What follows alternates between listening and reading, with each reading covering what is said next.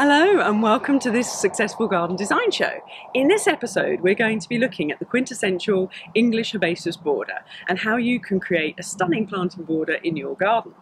We're also going to take a look at various other inspirational gardens around England and we're going to take a look at some of our Successful Garden Design students' gardens and get updates on how they're doing.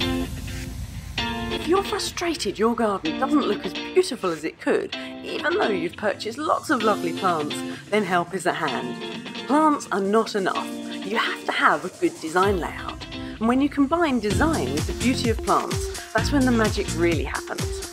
It's our mission here at Successful Garden Design to show you how to do it. And it's much easier than you may think. I'm Rachel Matthews and I've been a professional international garden designer for over 25 years and I teach garden design online.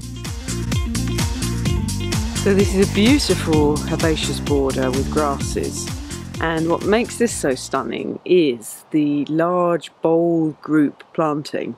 Now I'm not usually a fan of wiggly borders when there's no main lawn shape but even so the planting is done really well here. So this colour combination I really love. You've got the deep purple of the sedum there, probably purple emperor. Now they have actually changed the name to sedum to something completely unpronounceable, but anyway, in my day they were called sedum. So the purple thing at the front, and then the grass behind it just picks up. It's got a purple tinge to it, so that just carries it through, and then into the, the purple blue spires of the Perovskia there, um, the Russian sage, make it look stunning. And also the Verbascum is also wonderful combination here.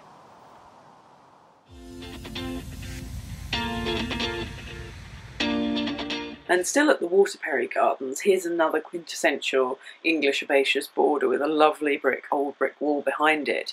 Now, different colour scheme, suddenly the hot colours of the reds and oranges interspersed with a little bit of um, purple just to help offset the heat. But what makes this garden or this border work so well, again, and I keep banging on about this, is the shape. You can really see the clarity in the group planting. And that is so important because when things aren't flowering, this border still has to look good. To show you what I mean, here's another garden that wasn't Waterperry, I hasten to add, that hasn't quite got the um, herbaceous planting done so well. So this herbaceous border, as you can see, it's beginning to go over a bit and the flowers aren't looking quite so full as they were. Now you'll notice there just isn't the clarity in the shape. So now the flowers are beginning to go over, the whole border is beginning to look a little bit on the messy side. So it just goes to show just how important clarity of shape is and not just focusing on the flowers. Bye. Now, on to catching up with one of our successful garden design students. Now, you remember, maybe remember a while back, Ingrid from Ontario, Canada. Um, she was in her late 60s when she did this garden, and she did the Great Garden Formula course, and she had no previous design experience. And this is the garden that she not only designed, but she built it all herself. As you can see her pegging everything out. So that's how it looked last time we visited. And Ingrid's been kind enough to send me some updated photographs. So you can see the garden is maturing nicely. Um, so this is a sort of a couple of years on, and um, the Perovskia's still going great guns there. So all in all, it's really doing well. So I'm thrilled that Ingrid has given us an update and has done such an amazing job. It's just a shame um, her neighbours haven't done the same thing. As you can see, their gardens are still completely empty.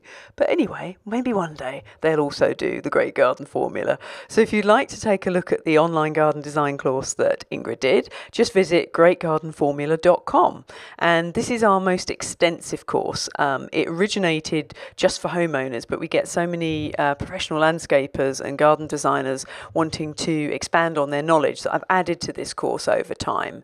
And it walks you through everything you need to know from the very basics right through to masterclasses, which take you to a very professional level. And there's lots of bonus video tutorials that walk you through everything. And also, we've done designer details, and there's um, example gardens from designers all over the world. So it's not just my work, we draw inspiration from everywhere. And um, it's producing amazing results with complete amateurs being able to get to professional level design skills. And it also comes with the five minute plant expert and the survey course and the cheats guide to sketching and visualizing, as well as our brand new Garden Wizard software, which you just choose the types of gardens that appeal most to you, and then the clever wizard um, does some calculations and it works out the best style for your garden, and then it gives you um, a PDF guide to walk you through how to create that style. So that's greatgardenformula.com to check out all the details. Right, let's get on with some more garden visits we're coming from the West Dean Gardens near Chichester and what I want to show you in this garden is how they've done the planting borders. They've got two amazing herbaceous borders so if I just give you a spin round you can have a look. And what I like about this is they have very cleverly done it for different times of year. So this one here is obviously more for late summer, early autumn. You can tell by um, the planting that they've used. So everything more or less comes together in one go. And they've got a very coordinated colour scheme which is always a good idea. And they've done the old trick of repeat planting, as you can see with the wonderful yellow Kniphofias here. But round the corner, they've gone for a completely different colour scheme. So this would have been um, pinks and blues, and it would have looked amazing in the spring when the um, irises and the roses were flowering. But you can see, even though there's not a lot flowering at this time of year, there's still a lot of clarity within the planting scheme. And that's because of the large groups they've used, particularly with the irises here. And the foliage is still looking good. So sort of uh, late um, late spring, early summer, this border would have looked absolutely amazing. So they've cleverly had different areas of the garden looking good at different times of year. So that's something that you can do in your own garden because at certain times of year you're going to be using different areas more than others.